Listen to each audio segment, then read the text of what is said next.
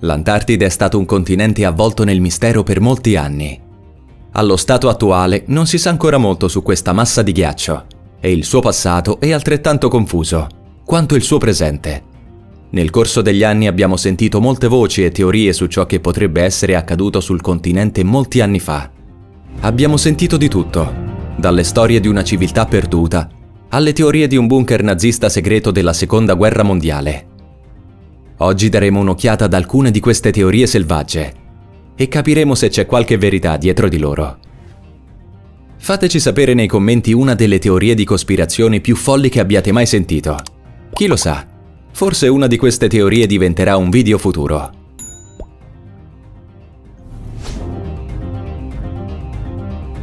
La città perduta L'evidenza scientifica ha fornito prove quasi inconfutabili che l'Antartide una volta era in gran parte o forse completamente senza ghiaccio.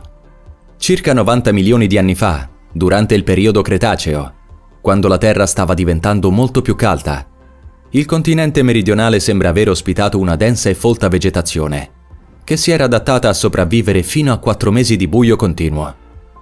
Considerando che la maggior parte delle piante al giorno d'oggi non può sopravvivere senza la luce solare di tutti i giorni, questa è stata davvero una rivelazione per i ricercatori scientifici.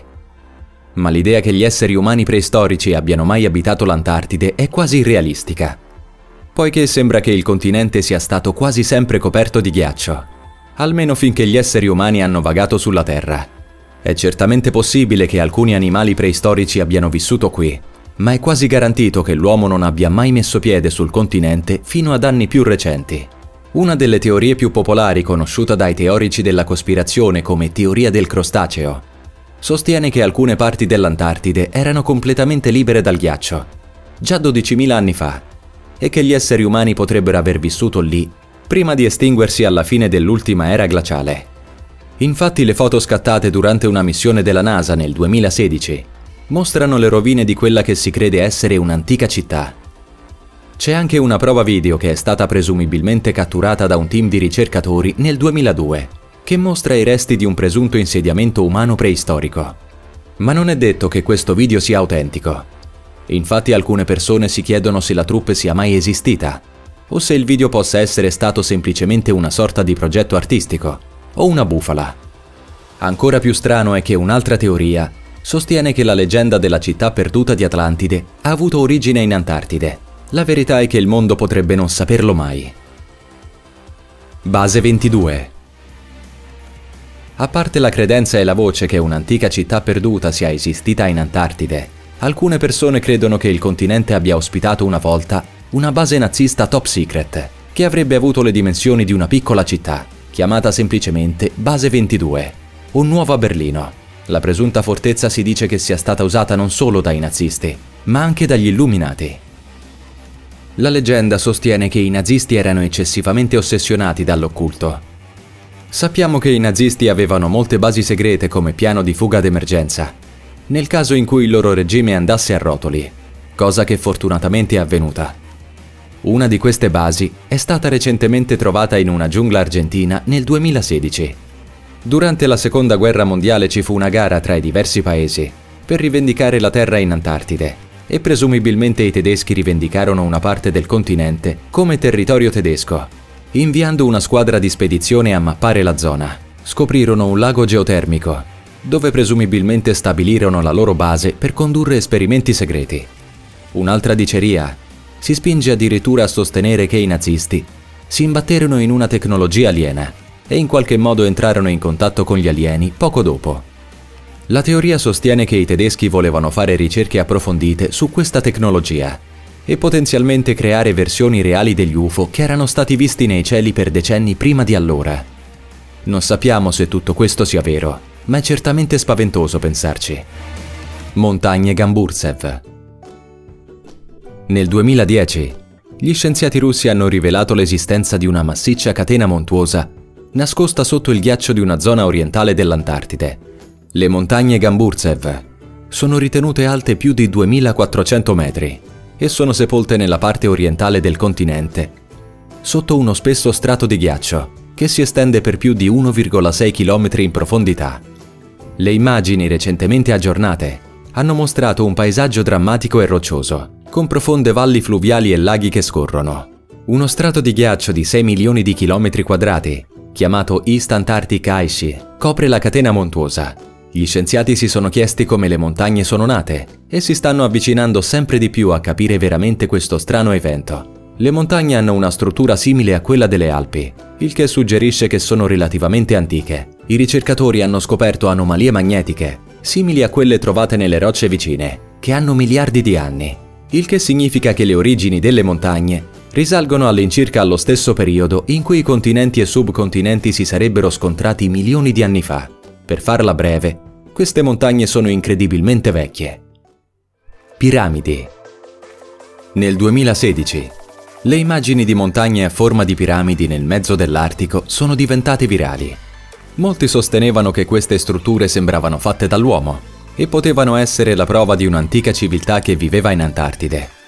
Le strutture sono state trovate nell'Esworth Range, in Antartide, e hanno portato alla rapida diffusione di voci che un'antica civiltà ha costruito le strutture più di 100 milioni di anni fa, molto prima che i nostri primi antenati umani apparissero sulla Terra. Le immagini delle montagne possono essere viste a forma di piramide su Google Earth. Non sono certo un segreto, anche se non abbiamo idea da dove possano provenire. Vale la pena notare che queste presunte piramidi fatte dall'uomo hanno come minimo 4.000 anni e circa 10 volte l'altezza delle piramidi di Giza. Tuttavia, gli scienziati insistono che queste presunte piramidi non sono state create da antichi esseri umani o da qualsiasi altra forma di antica civiltà, Invece il parere ufficiale è che si siano formate naturalmente nel corso di migliaia, forse milioni di anni. Non sappiamo esattamente cosa abbia fatto sì che prendessero la forma di una piramide, ma per quanto ne sappiamo, non ci sono prove concrete che siano state create a mano. Polinia Antartica Nel settembre del 2017 i ricercatori hanno fatto una strana scoperta, che hanno chiamato Maudris Polinia. Sepolta in profondità in un blocco di ghiaccio nel mare di Lazarev, in Antartide. Ma cos'è esattamente una polinia? Secondo i ricercatori, una polinia è una pozza di liquido di acqua di un oceano, che si trova in profondità all'interno di uno spesso strato di ghiaccio. Gli esperti si sono basati su osservazioni satellitari e su una rianalisi dei dati precedenti per scoprire come e perché il buco si è formato. Era stato un mistero per i ricercatori per più di 40 anni, ma ora hanno scoperto che una combinazione di cicloni e venti forti ha causato la formazione della polinia, spostando i flussi d'acqua in direzioni opposte, strofinandoli l'uno con l'altro e mantenendoli abbastanza caldi da non congelare. La polinia di Maudris è incredibilmente grande, con alcuni esperti che sostengono che è grande come il Connecticut e si è espansa di un enorme 740% il mese successivo, prima di fondersi finalmente con l'oceano aperto e scomparire. Il ghiaccio del giorno del giudizio. All'inizio di quest'anno, gli scienziati appostati sul ghiacciaio Twice dell'Antartide, che copre un'area delle dimensioni della Florida, hanno rilasciato le immagini della linea di base del ghiaccio. In altre parole, la posizione in cui il ghiaccio incontra la Terra. In quanto parte della International Thwaites Glacier Collaboration, il Team MELT ha raccolto campioni e dati da questo fenomeno naturale unico, considerato uno dei ghiacciai più importanti e pericolosi dell'Antartide. Un luogo unico, che non molte persone vedono e che stupisce veramente. Non sappiamo ancora cosa possano significare le informazioni raccolte nella scienza moderna, ma possiamo supporre che questa ricerca è inestimabile e può aiutarci a comprendere ulteriormente la storia di questo strano continente. Ingresso della grotta.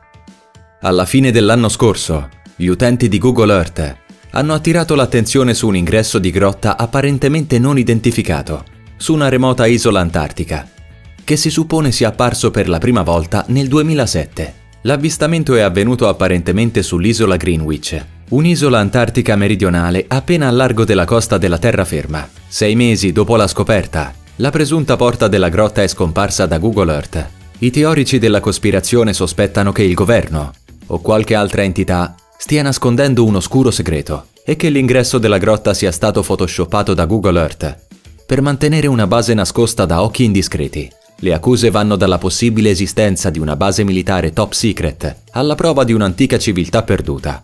Questa sembra essere una tendenza comune con le scoperte antartiche. ma cominciano ad avere un senso quando ci si pensa davvero. La grotta mostrata su Google Earth era larga circa 249 piedi, per 74 piedi di altezza, il che per alcuni Doomsday Prepper significava che centinaia di migliaia di persone potevano stare dentro. Una speculazione più razionale suggerisce che un evento naturale come uno scivolo di neve o un cambiamento climatico può aver esposto o coperto la grotta. Non lo sappiamo con certezza, soprattutto perché la grotta ora è scomparsa il gelato che canta. Gli scienziati hanno usato sensori sismici per raccogliere immagini per oltre due anni della piattaforma di ghiaccio rossa. I loro risultati sono stati pubblicati alla fine del 2018, in uno studio che ha dimostrato che il ghiaccio del continente canta a una frequenza costante di 5 Hz, o 5 cicli al secondo. Questo rumore ronzante è creato da eventi locali ed è influenzato da fattori come la neve e il ghiaccio sulla superficie, le tempeste che spostano le posizioni delle dune, e lo scioglimento eccessivo. Questo secondo la rivista Life Science. Per gli scienziati è come soffiare in un flauto. Si tratta di un tono costante che non desiste, alterna o diminuisce mai. L'autore principale dello studio, Julian Chapeau, ha detto in una dichiarazione che alcune condizioni come forti tempeste ed eventi meteorologici di riscaldamento possono causare un sottile cambiamento nel ronzio sismico e ascoltando la canzone gli scienziati possono osservare e persino essere in grado di prevedere importanti cambiamenti sulla superficie per prevedere quando lo strato di ghiaccio crollerà. Lago profondo. Per quanto noioso possa sembrare il nome, il lago profondo è un luogo molto speciale. Questo corpo d'acqua isolato nell'Antartide orientale ospita un ecosistema appena fertile, ma sostenibile, anche se il contenuto di sale nell'acqua è 10 volte superiore a quello dei più grandi oceani del mondo. Questo alto contenuto di sale fa sì che il lago profondo rimanga fluido, anche se nel suo punto più freddo raggiunge temperature fino a meno 20 gradi centigradi. Un gruppo di scienziati che lo ha esaminato per 18 mesi nel 2013 ha dovuto prendere precauzioni speciali per evitare che i campioni d'acqua si congelassero mentre li ispezionavano. Quando esposto all'aria aperta, il liquido tende a congelare quasi istantaneamente quindi c'è voluta molta pazienza e attenzione per assicurarsi che i campioni non si rovinassero. Passeresti 18 mesi in questo luogo ostile. La maggior parte degli animali non può nemmeno sopravvivere lì. Ma quattro specie microscopiche hanno trovato un modo per prosperare nelle condizioni salate e fredde di questo lago. Tre di loro sono archei, una forma di vita che originariamente si credeva fosse batterica, conosciute come estremofili, queste specie mostrano un'affascinante capacità di sopravvivere a temperature e condizioni che sono letali per quasi tutte le altre specie conosciute dall'uomo. Tuttavia queste specie non solo vivono, ma prosperano in queste condizioni, anche se è certamente un po' azzardato. Alcuni ricercatori si riferiscono a questi tipi di organismi quando cercano di descrivere come potrebbe essere la vita su altri pianeti. Una strana struttura. Nel 2012, una struttura lunga 14 miglia in Antartide è stata avvistata su Google Earth e ha causato confusione e molti dibattiti online. È un mistero che ha scatenato la speculazione secondo cui la struttura potrebbe essere una stazione di ricerca governativa segreta, un UFO sepolto o chissà cos'altro. Gli utenti di Google Earth l'hanno descritta come una struttura irregolare, caratterizzata da un punto bianco luminoso, che si suppone essere una sovrastruttura una delle più grandi della zona.